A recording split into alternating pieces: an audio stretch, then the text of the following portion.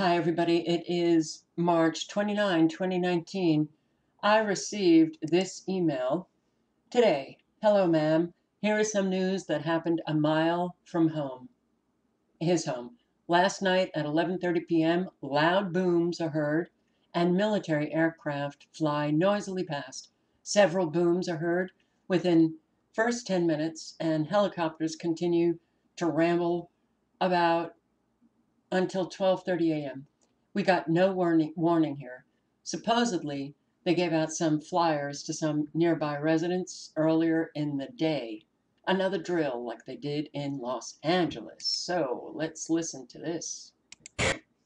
Taking place. We should also mention all of the residents we have Sorry. Explosions and gunshots woke some Raleigh residents. The loud noises were heard in this area off Capitol Boulevard. And now officials say it was all part of a planned military exercise. WRAL's Adam Owens is live in Raleigh with how it scared a lot of people who didn't know what was going on. Adam. Renee, it was planned, it was an exercise, but at the time, some residents in this area along Capitol Boulevard tell me they thought the city was at war when they heard the helicopters and explosions, and some say they had no clue a training exercise was taking place. Neighbors say they saw those helicopters, they heard those blasts and those bangs at Capitol Plaza. That's an old hotel that has been empty for some time now. City officials tell me the exercise involved elements of the Army in coordination with the city of Raleigh and Raleigh police. They say there were simulated munitions and aircraft that were involved. They tell us the Army notified area businesses and homeowners yesterday afternoon, but that would have been just hours before everything started around 11:30 last night and stretched into the early morning hours according to residents. Some city leaders tell me they did alert some residents days before this exercise took place, but other folks in this area tell me they did not get that message. One of the neighbor's daughters is eight months pregnant with her first pregnancy, and she she was having trouble breathing. We were afraid she was going to go into premature labor. Um, one of the neighbors had his guns out. I mean, it was crazy. We we didn't know what was going on, and we didn't get any notice.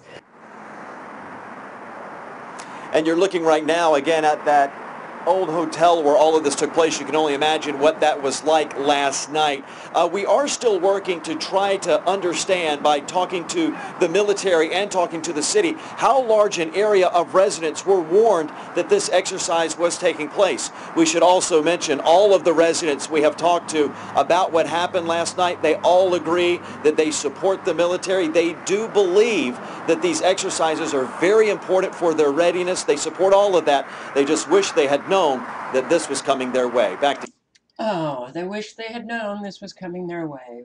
Everyone, everyone supports the military. There are a lot of uh, military bases, South Carolina, North Carolina. This is deliberate, intentional, to keep Americans traumatized. Very easy to manipulate traumatized people why we should sue the military, sue the city of Raleigh. Emotional distress. Uh, this is insane. This is uh, utterly insane. Now, the other article that I read on this, the notices apparently went out sometime in the day, and residents that were interviewed for that article, my subscriber, no one got notices. Who got the notice then? How do you, how do you plan explosions, helicopters flying low, and simulated um, assault weapon firing? I don't know what they called it, but it was uh, simulated firing. How do you plan that and then not notify residents? How could it possibly have been like a mistake? This is deliberate. It's deliberate. Also in South Carolina, this was posted today. Mysterious boom heard in low, uh, low country. Low country residents reported hearing a loud boom Friday morning people in North Charleston, Mount Pleasant, West Ashley, reported hearing the boom and feeling brief shaking just after 8:30 a.m., most likely a sonic boom from an aircraft offshore.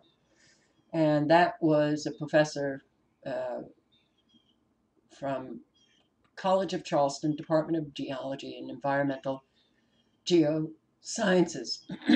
but what the professor said was also um, stated by officials at Joint Base Charleston. They too heard the boom and agreed it was most likely an aircraft, but say it wasn't one of theirs.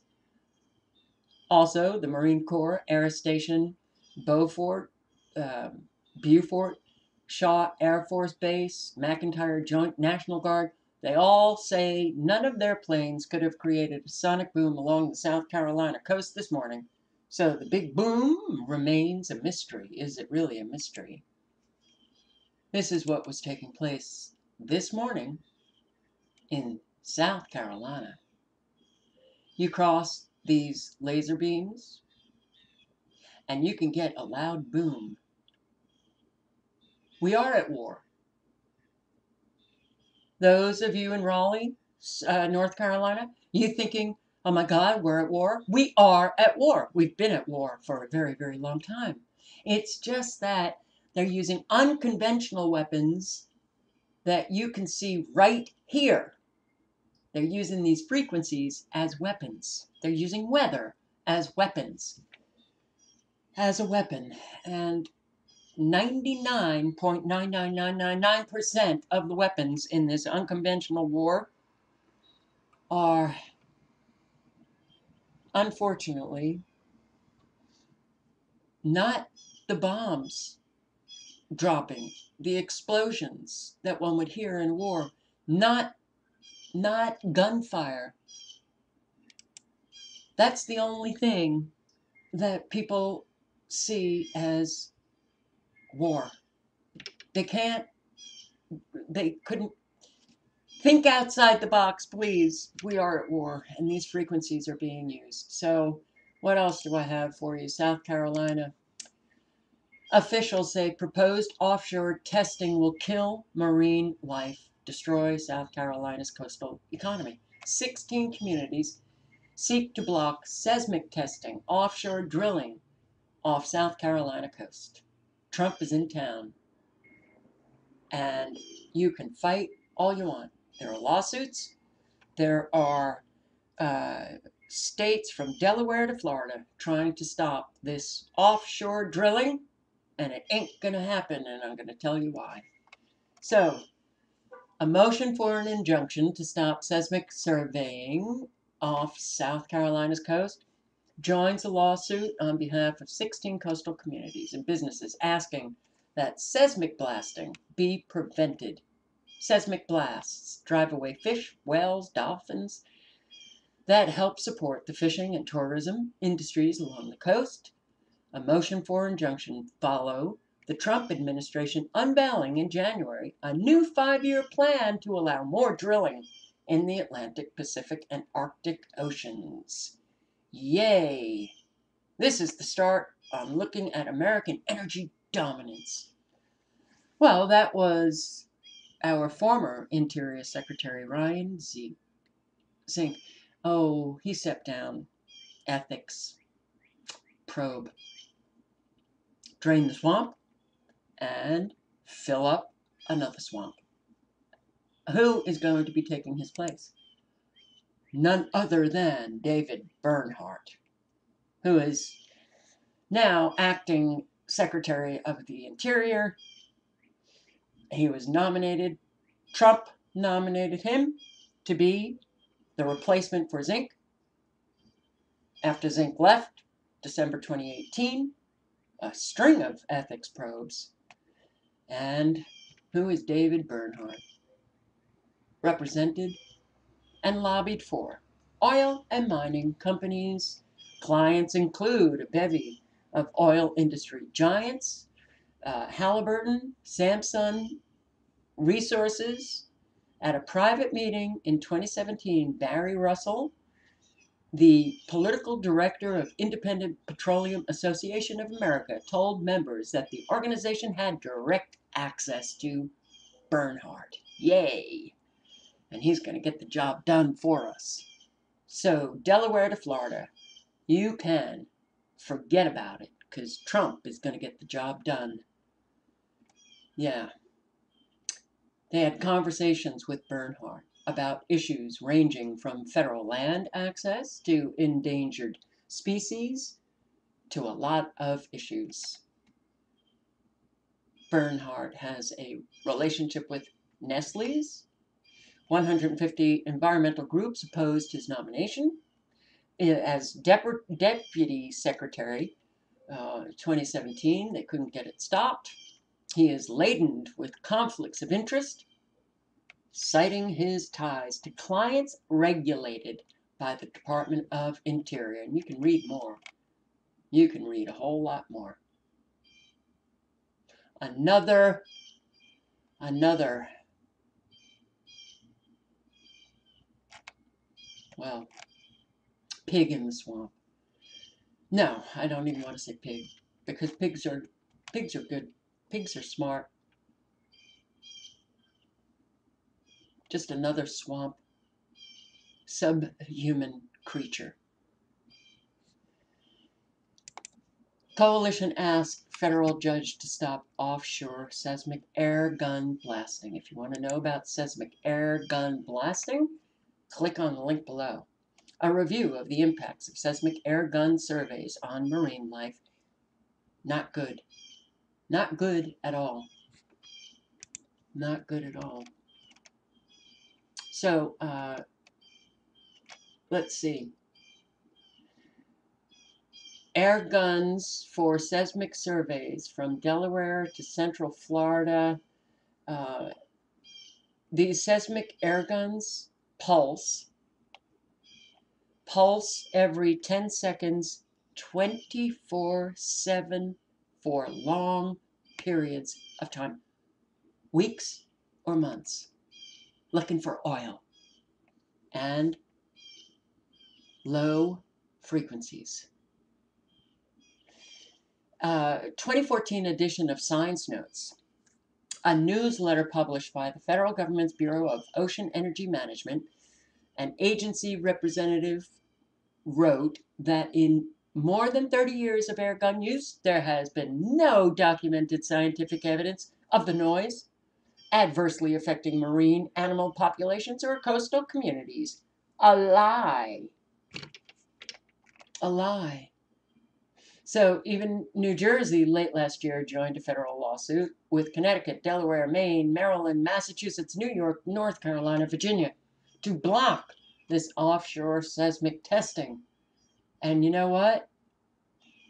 The seismic testing, they have already learned that it has killed an awful lot of whales, dolphins, marine life. Offshore drilling plan on Atlantic coast expected soon. This was posted today.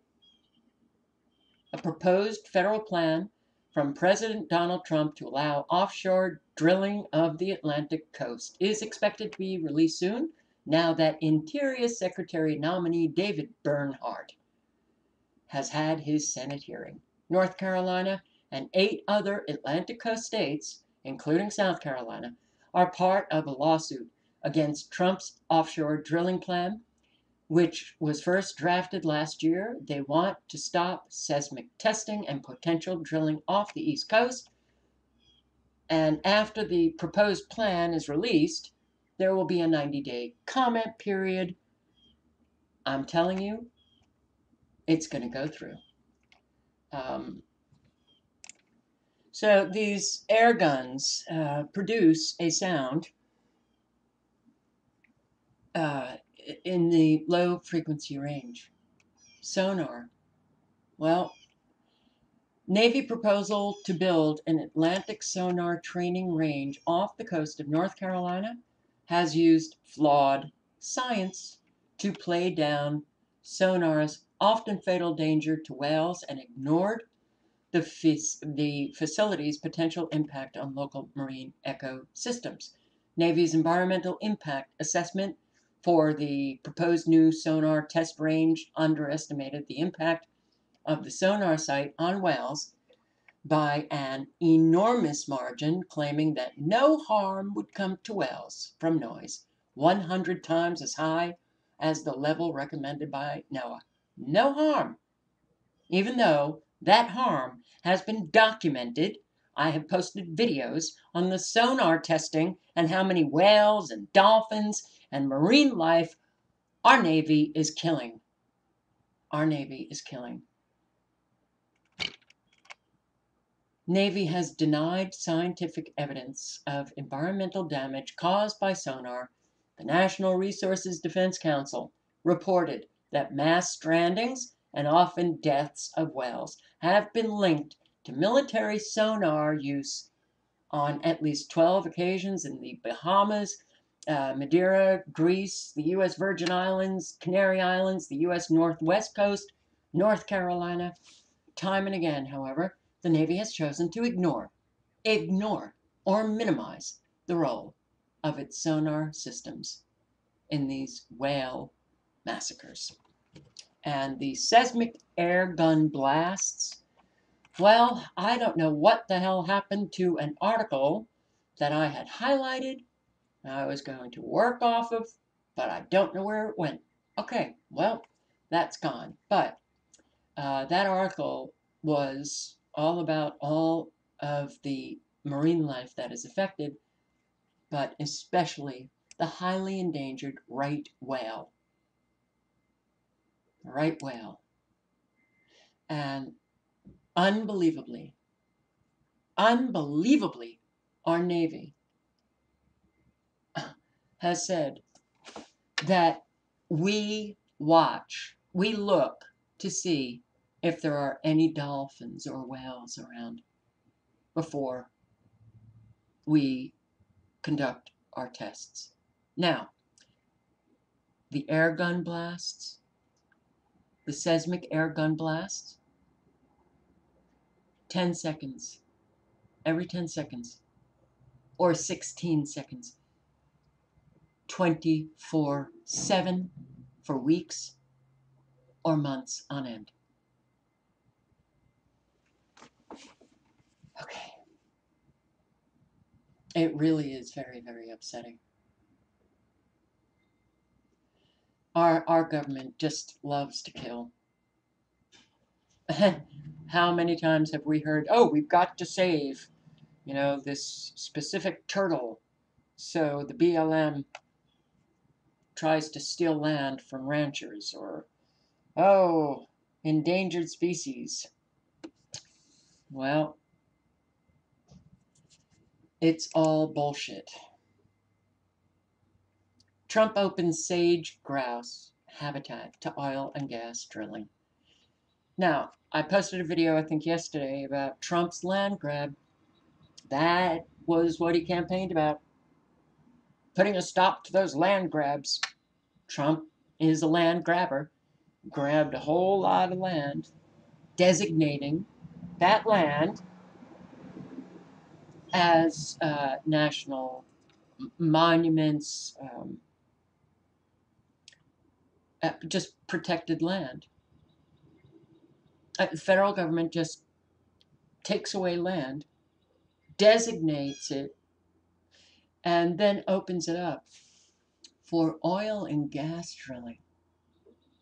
Interior Department finalized changes Friday to protections for the sage grouse bird, which could open lands in seven, seven western states to oil and gas drilling.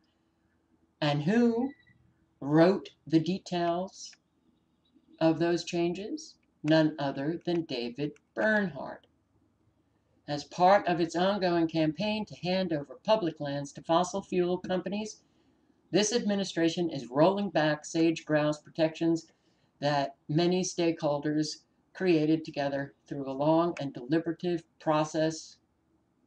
Acting Secretary David Bernhardt. His clients want to drill for gas and oil. All right, guys, you know, this could very well be the source of the loud booms heard early this morning. This is also whether these frequencies are emitted into the atmosphere or these uh, extremely low frequencies can be emitted through the ground into the ocean. It affects all life, not just the two legged. And I sure wish that we could bring back some something moral and decent. I'm afraid things are just going to get worse and worse, darker and darker, and it's going to be really hard to take. So we've got to support one another, support one another just to get through what we are living. It's unbelievable. Oh, by the way, of course, you know, people are concerned about that oil, you know, rigging off the Atlantic, uh, considering, you know, what happened in the Gulf, BP, right? Could we have another BP? Of course we could. Those who are supporting the rigging, jobs. That's what it comes down to jobs. Can we not think of some other way to um, create jobs without killing life? There's got to be another way. How about fighting your states and the federal government? You know, those uh, regulations that Americans are uh, strapped, trapped. They can't, you know, uh, start their own businesses because of the regulations and the fees and the fines and the permits and yada, yada, yada. How about we get rid of those? Hey, Trump, those regulations. I think people were talking about those regulations. That those are the regulations Americans wanted you to do away with, not these regulations, not, you know, regulations that uh, prevent chemical companies from using more and more pesticides and all. No, not those regulations. The regulations that literally prohibit the ordinary American from working on their own, starting up a business. All links are below.